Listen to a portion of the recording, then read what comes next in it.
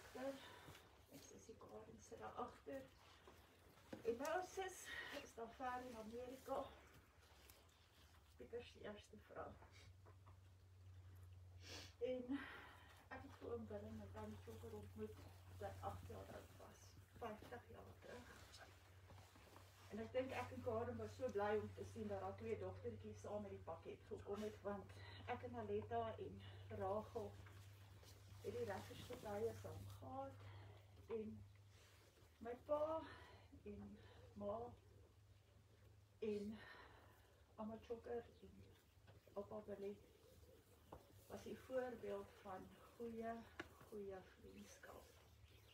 Ek dink as 'n mens in jou lewe so 'n voorbeeld van vriendskap het, is dit 'n baie kosbare ding. Hulle was altyd net daar vir mekaar. Um my ma het op die plot by ons gebly. En as daar moeilikheid is, dan sien jy daar kom die Mercedes op met die pad. Ouma Chokker was nie bang om my pad aan te vat met haar Mercedes nie. En dan klim oupa Willie en ouma Chokker uit. En dan gaan sit hulle in die huis en hulle drink tee. My ma maak vir hom Willie koffie soos wat dit gemaak moet word. En as hulle daar uitloop dan is daar vrede in my ma se harte. En as hulle moeilikheid gehad het, dan het my ma en pa in hulle karretjie geklim en so toe gery. Hulle was net altyd daar vir mekaar. En toe my pa eers weg is, en toe my ma was dit vir my die enigste ander plekie waar ek 'n draai kon gaan maak het. En net kon sit en 'n koppie koffie drink en luister na oupa Willie se stories. Um, ouma Chokker wat al kop so in die agtergrond skud en sê nee, dit het nie regtig gebeur nie, maar jy luister en sê ja, oupa, en ja, dit het gebeur. Maar daar was altyd 'n plekjie vir 'n mens aan hulle tafel. Hulle het altyd spasie vir 'n mens gemaak. Hulle het altyd geluister. My stukkie grond waar ek bly, het oupa Willie vir my kom goedkeur en sê ja, dit is reg. Jy kan hom loop.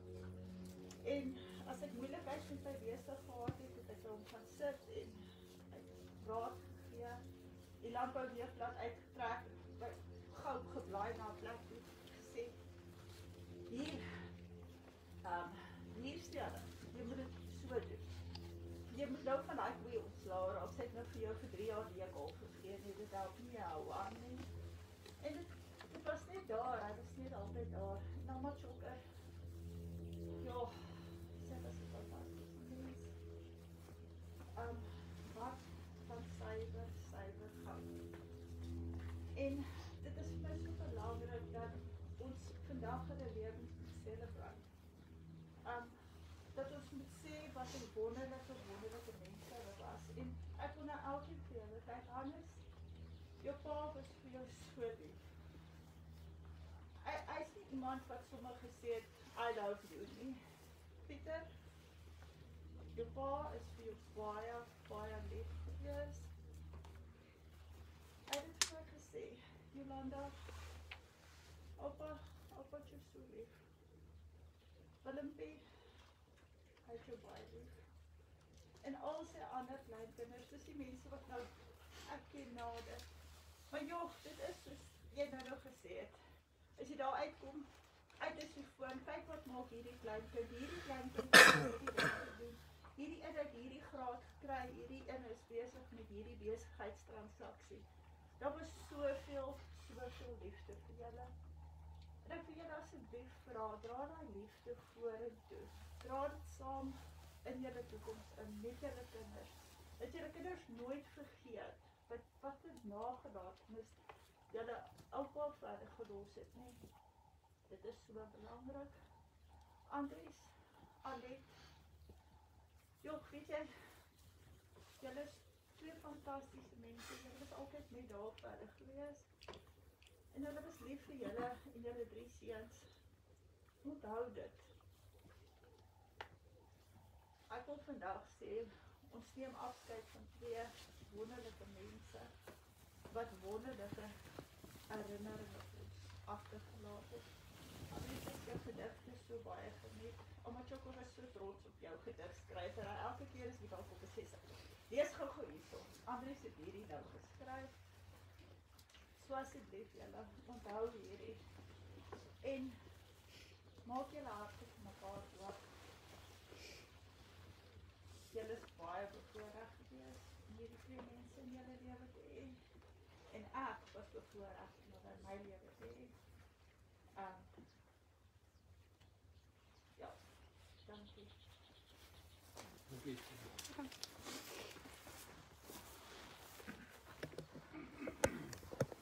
Ja, ek het myself nog eens voorgestel nie. Ek is Marius Oosthuizen. Ja, ek praat van ouma Chokker. Ek wil graag hierdie gediggie lees wat Andri geskryf het uh wat haar persoon haar mens wees so saamvat. Ouma Chokker, jy was 'n plaaskind van die Vrystaat en so het jy ons geleer. Die wedloop is eenvoudig en die einde altyd sonder eer. Jy was die eyster in die middel, die kern van die vuur. Al was dit ook hoe warm of al was dit ook hoe koud, jy was eenvoudig altyd ons almal se behoud. Ons mis jou lekker laggie en jou rugby kommentaar. Jou mening oor die dinge altyd sonder nait of stryd het menige vuurvonke en kwellings laat bedaar. Ek dink aan jou lekker etes daar op die Dandaf plaas waar jy met jou rooi wange al om die tafel haas wetende die souskluitjies is jou geheime skep verlaas. Jou liefde en jou omgee los 'n groot gat hier by ons. Maar ons hoor nog steeds jou stem. Ons sal maar sien. Of kom ons kyk maar wat gebeur. Waar jy met jou kop skuins voor die TV se suidooster mediteer. Ek wou nog die gedigte stuur wat jy so graag wou hê. En nog net een keer vir jou pizzas bring om jou lekker te sien smil. En hoor hoe jy 10 keer dankie sê. Ek stuur nou maar 'n laaste vers dat jy dit kan sien of hoor. En as dit ooit gelees word, sal die lewe stil gaan staan en 'n engelkoor sal neurie sodat jy sag verby kan gaan. Jy was Henry. Jy was Hendrina, ouma Chokker of mevrou Steyn. Maar vir ons was jy net liefde en ons mis jou samesyn. Dankie Andries.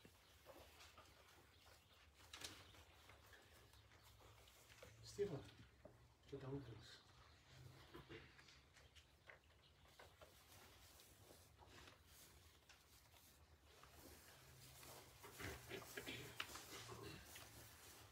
wil net uh, namens die familie 'n paar bedankings doen.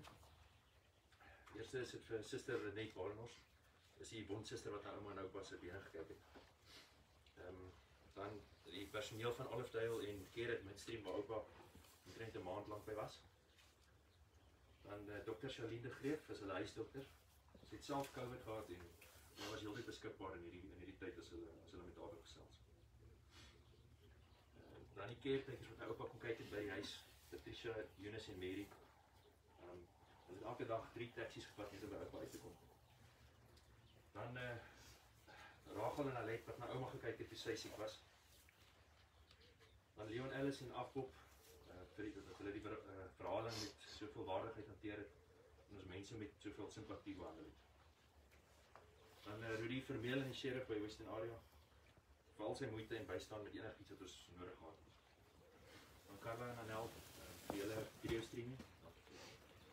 En al alles uh, Willem en Werner vir die reëlings wat julle getref het vir al die tente en en die graf alles reg. Dankie dan uh, dat jy alpad gekom het tot vir die plaas vir die vir die diens.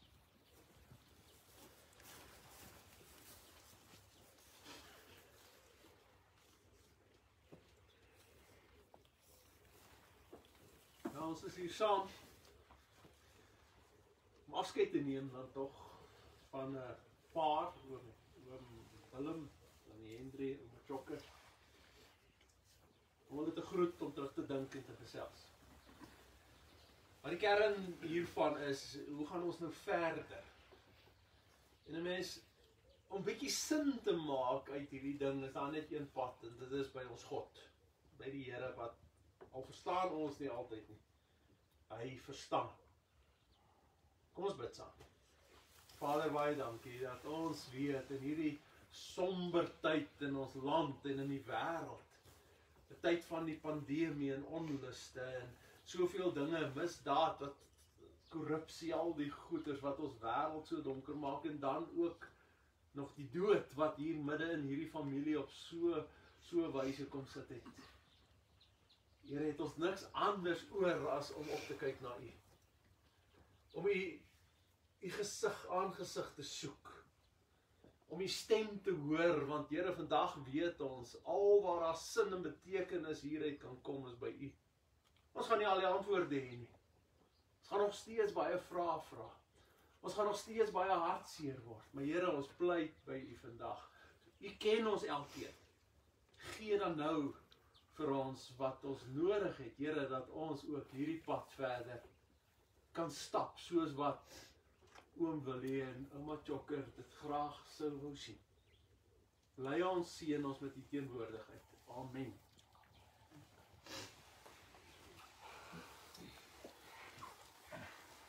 Ek is gevra dat ons na Psalm 23 sal kyk vandag hier, so 'n bietjie daaroor sal gesels. En ek dink Psalm 23 is seker vir elkeen van ons 'n besondere uh boodskap wat veral in so 'n tyd iets vir 'n mens kan beteken.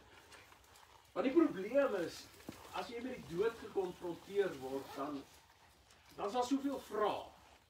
Wat is die dood? Wat gebeur? Waar is hulle nou?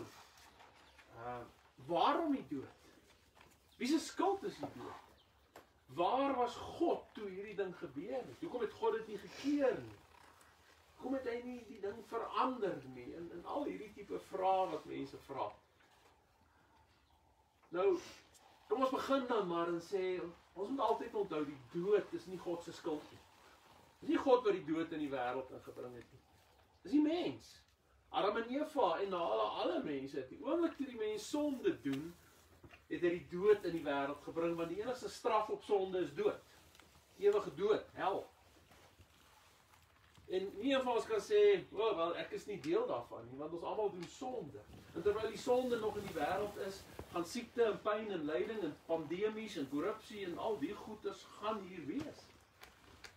Dit gaan eendag eindig as Jesus weer kom. En dan dan word die duiwel oorwin en die wêreld word oorwin en die, al hierdie goeders word vernietig en dan is ons by God. Nou As jy mens na Psalm 23 kyk, dan Dawid het hom geskryf en dan klink dit so al asof Dawid hierdie droom prentjie gehad het. Maar Dawid het nie net mooi goed in sy lewe gehad nie. Op 'n stadium uh of hy moes sommer van vroeg af, hy's gesalf as koning en kort daarna moes hy begin vlug. Want Saul wou hom doodmaak. Sy eie seun Absalom het hom uitgejaag en hy het eerder gevlug as om te veg teen Absalom. Jou eie kind wat jou wat jou verjaag om in jou plek koning te word. Verskriklik. Ehm uh, hy moes in grotte bly saam met 'n klomp misdadigers daar in die veld wees. Hy het sy moeilike tye gehad en as ou hierdie psalms lees dan dan hoor ons daai klaaglied van hom God, Here, hoekom, waar, wat gaan aan? Maar wie julle die wonderlike van Dawid is dat hy hy vir ons wys dat elke keer as hierdie krisis kom, dan kyk jy na God toe. Daar in Psalm sê hy, die mense sê vir my vlug, vlug na die berge toe. Want hier's nou gevaar, dan sê hy maar ek vertrou op die Here. So hy kon altyd daarop terugval en ek dink in hierdie situasie vandag is dit ook waar ons behoud lê. Waar ons en dan praat ek nou nie net van 'n begrafnis nie, afskeid van 'n geliefde of geliefdes nie. Ek praat van hierdie hele toestand in die land. Daar's baie mense wat wat hart raak en sê, "Maar waar is God? Waar is sy liefde? Hoekom is hy nie hier nie? Hoekom verander hy dit nie? Waarom laat hy dit toe dat mense doodgaan van 'n virus soos ouma Chokke?" Verskriklik, waar is God? Kom ons lees Psalm 23 en dan kyk ons bietjie of ons eers dalk iets van 'n antwoord kan kry. Psalm 23, Psalm van Dawid. Die Here is my herder. Ek kom niks kort nie. Hy laat my in groen weivelde rus. Hy bring my by waters waar daar vrede is. Hy gee my nuwe krag. Hy lei my op die regte paaie tot die eer van sy naam. Selfs al gaan ek deur donker dieptes, sal ek nie bang wees nie. Want U is by my. In U hande is ek veilig. U laat my by 'n feesmaal aansit terwyl my teestanders moet toe kyk. U ontvang my soos 'n eregas. Ek word oorlaai met hartlikheid. U goedheid en liefde sal my lewe lank by my bly. En ek sal tuis wees in die huis van die Here tot in lengte van dae. Nou as jy ou mooi na die Psalm kyk, dan sien jy daar's twee beelde wat hier gebruik word. Nou ons ken almal die herderbeeld, maar interessant, die tweede helfte is 'n ander beeld. Dit is die, die meer die gasheer wat gaste uitnooi en onthaal daar in sy huis of waar ook al. En wat Dawid dan hier sê is hy het God op hierdie twee maniere leer ken. As die herder. Nou in daai tyd was die herder meestal maar die uh, julle sal nou julle almal is plaasmense. Die hy was ook die eienaar van die skape meestal. En dan het hy by daai skape gebly. Hy het nie sulke mooi krale gehad soos ons gedag het wat hy die skape in die nag injaag en dan sy nou beskerm teen die wilde diere en die hy hy het daar in die veld by hulle gebly en hy het hulle maar so op 'n knop gejaag en en dan het hy maar daar onder 'n boom gesit. En al wapens wat hy gehad het was sy sy staf en sy kierie. En en so moes hy hulle beskerm en hy het dit gedoen want dit is syne, dit is sy skape en hy sou hulle selfs met sy lewe beskerm. Uh as as 'n skaapie siek is of dan dan sou hy hom optel en dra, versorg en en en en, en help. As 'n skaapie weggeraak, Jesus het mos die gelykenis vertel en sou daai herder hom gaan soek. Want hy gaan hom nie net los nie, daar's wilde diere wat hom kan vang. En dan wil Dawid hier sê maar dis God. Dis sy prentjie van God. Hierdie een wat absoluut omgee. God wat wat sy beste gee. Vir die skape die beste veiding, die beste water want dit moet goed gaan met daai skape en, en God is 100 keer meer as daai herder wat maar die paar skapies gehad het. Here is my herder en hy sê ek kom niks kort nie. Dis hoe hy beleef het. Ek wil nie sê dat daar nooit krisisse was nie. Daar was. Maar God het hom altyd daai gehelp sodat sy ervaring is ek kom niks kort nie. Hy laat my by groen weivelde rus en bring my by waters waar daar vrede is. Hy gee my nuwe krag en lei my op die regte paaie tot die eer van sy naam. En dan nou 'n versie wat interessant is. Selfs al gaan ek deur donker dieptes, sal ek nie bang wees. So hy sê maar as kind van God wil dit nie sê nou is jou lewe plain sailing en alles gaan nou maklik wees en dan gaan geen probleme nie wees. Hy sê daar gaan nog probleme wees. Daar gaan donker dieptes in jou lewe wees wat ons vandag ken. Uh wat ons in ons harte voel. Maar wat hy sê dan is as daai donker dieptes kom, is jy nie alleen nie dan is God daar. Soos daai herder wat in die donkerste, die slegte tye juis daar is om te dra. Sal nie bang wees nie. Want U is by my. Nou in hierdie vertaling staan daar in U hande is ek veilig. Ek dink nie die jongeres sal weet hoe die ouer vertaling geklink het nie. Maar hy het nog gesê U stok en U staf vertroos my. En dit was die beskermingswapens van hierdie herder gewees. Daarom was die skape veilig want daai herder het sy stok en sy staf gebruik. In u hande is ek veilig. Nou, hoe weet ons dis waar van God? En die antwoord daarop is Jesus. Onthou die mense het sonde in die wêreld gebring, die mense het homself geplaas op die pad van die hel mens kon homself nie red nie.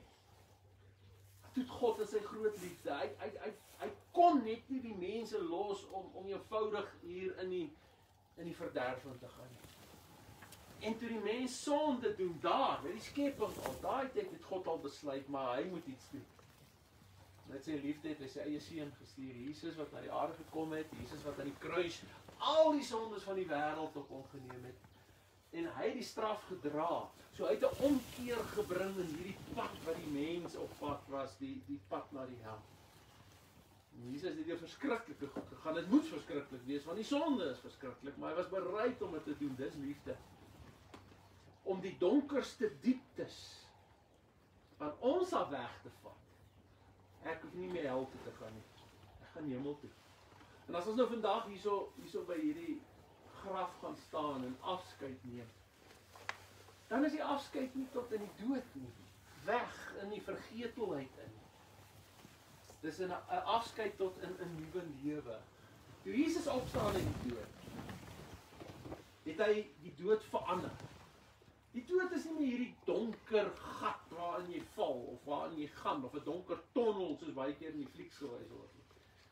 Die die dood is 'n deur, 'n poort, 'n deur wat jy eenvoudig van hierdie lewe af deurgaan in die ander ene, in die nuwe lewe, die hemelse lewe, by God, in God se lig. Dood is nie donker vir die kind van die Here nie. Die dood is lig. Dis God se liefde. Dis wat hy vir ons moontlik gemaak het. So as ons dan hierdie twee wonderlike mense groet, dan sê ons maar ons weet waar hulle is. En ek glo persoonlik, die oomblik as jy sterf, is jy by God. Dan die wederkoms vir jou plaasgevind. Jy gaan nie eers een kant lê en sê wag nou maar daar tot Jesus eendag weer kom nie, want aan die ander kant is daar mos nie tyd nie.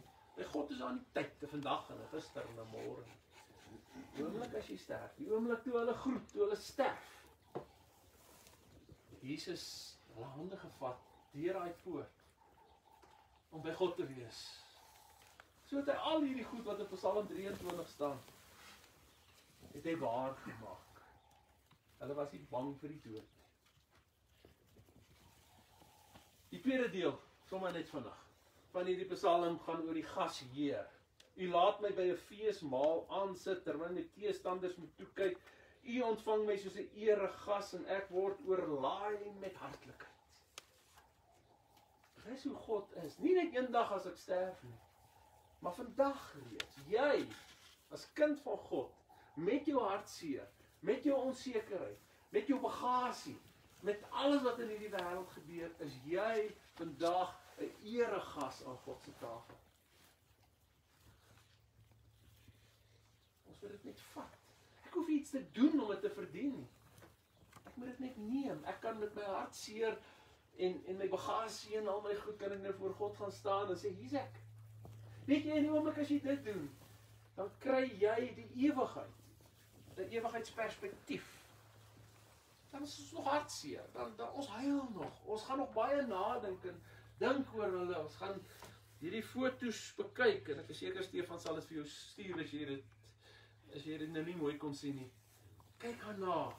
Huil, is goed. Dis dis Jesus het ook gehuil toe sy vriend Lazarus dood is. Maar dan kyk ons nie asof hulle weg is nie. Hulle is aan die ander kant. By God in 'n nuwe lewe, 'n ewige lewe waar daar geen pyn, geen hartseer, ehm uh, geen dood meer is nie, net God se liefde, net God se volmaakte uh omarming. Hulle sit op God se skoot. Dink. En hy hou hulle vas. Dis mos iets wat ons met ons kan saamdra. Hulle sit by die feesmaal aan. Hulle is die eregaste daar in die hemel. Ek word oorlaai met hartlikheid. U goedheid en liefde sal my lewe lank by my bly en ek sal tuis wees in die huis van die Here tot in lengte van dae. Wow. Ek wil julle los met daai boodskap. Daar's lewe. Wat ook al in hierdie land gebeur, verder. Ons God is in beheer. Hulle kan afpraat. Hulle kan anders doen. Maar ons God is in beheer. Hy sal weer sorg dat daar vir ons lewe is. Hy sal weer vir ons 'n glimlag gee na die hartseer wat ons vandag belewe. Want God is lief vir jou. Maak jou hart oop. Beleef dit. Mag die Here julle regtig vashou en seën ook in hierdie dae wat kom. Amen. Ons gaan nou uitbeweeg, kan ons maar ons amazing grace. Kom ons luister net so na die eerste vers, drink die woorde in, die ongelooflike genade van God. die draers.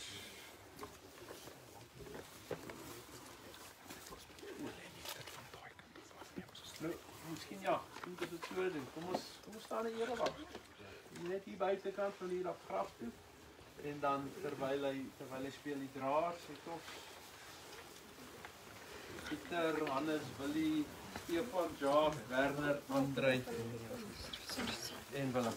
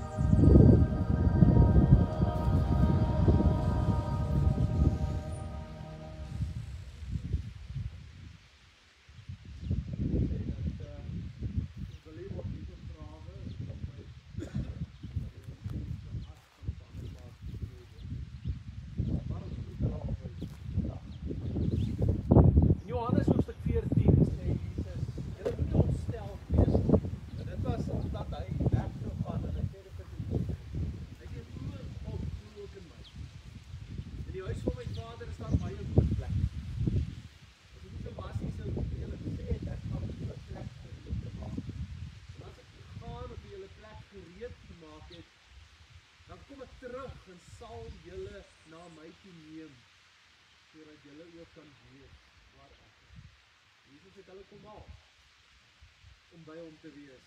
Dis daardie plek wat hy gereed gemaak het. En Willem omdat Jokker is deur die dood van ons weggeneem. Die Here Jesus het gesê ek is die opstanding en die lewe. Deur my glo sal lewe al het hy gesterf. Deur sy opstanding het Jesus die dood oorwin. Hoe kan die gelowige uitroep: Dood, waar is jou oorwinning? Dood, waar is jou angel? Daarom treur ons wel. Maar nie soos die ander mense wat geen hoop het nie. Die dood van 'n geliefde is 'n groot verlies en dit bring hartseer en pyn. Maar tog gee die Here self sy troos en bemoediging. Hy verlig ons smart. Hy staan ons met sy liefde by en beloof om die pad verder saam met ons te stap. Maar die dood roep ons almal om anders na die lewe te kyk. Jesus het immers aan die kruis vir ons gesterwe sodat ons nie meer vir onsself sal lewe nie, maar vir hom wat vir ons gesterf het en vir ons opgewek is. En daarom sê ons saam met Paulus: As ons lewe, dan leef ons tot eer van die Here. As ons sterwe, sterf ons tot eer van die Here. Of ons dan lewe, of ons sterwe, ons behoort aan die Here. Aan hom kom toe die eer en die heerlikheid tot in alle ewigheid. Gaan nou die kus laat sak terwyl ek die geloofsbelijdenis lees, want dit vat so saam presies dit wat ons ons glo.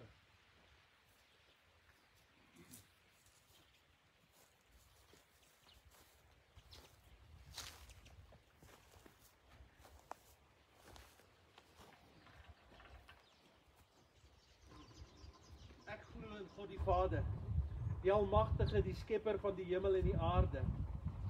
Ek glo in Jesus Christus, sy eniggebore seun, ons Here, wat ontvang is van die Heilige Gees, gebore is uit die maagd Maria.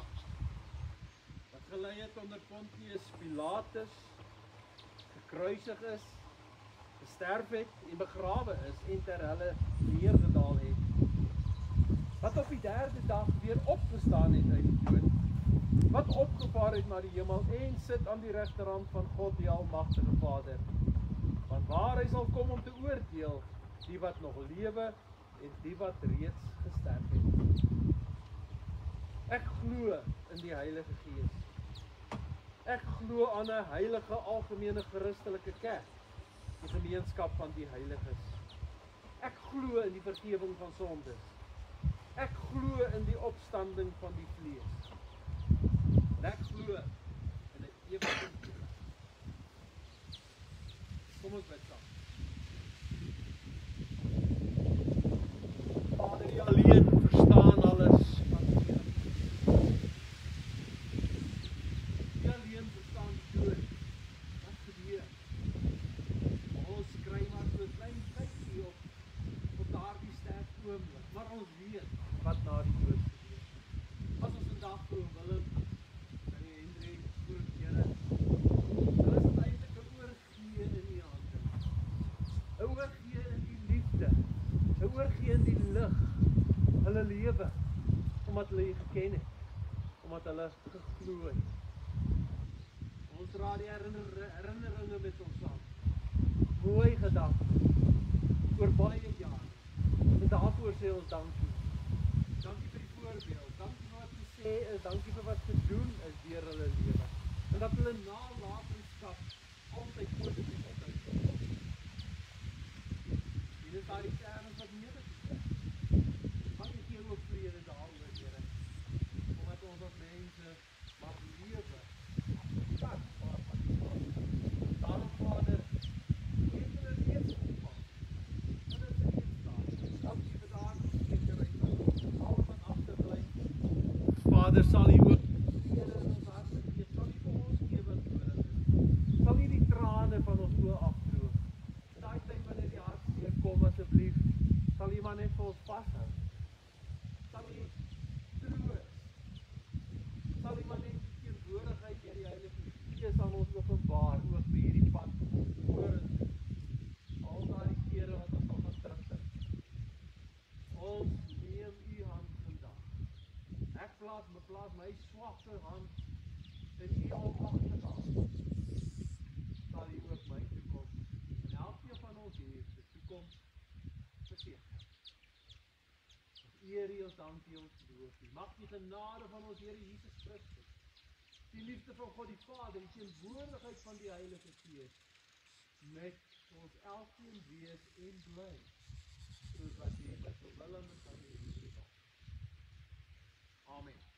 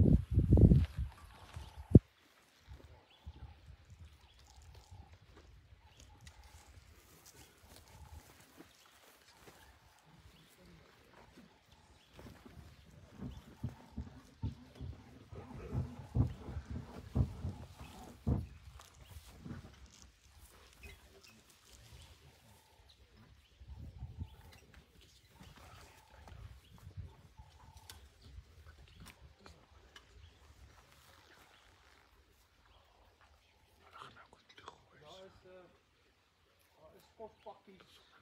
Kersens. Ehm nou die hoef nou daar met te gaan nie. Uh, maar hou maar die afstand en al die nodige protokolle asseblief. By ons is ons daar ook water en koeldrankie en chocolates asseblief julle help hulle sal ook.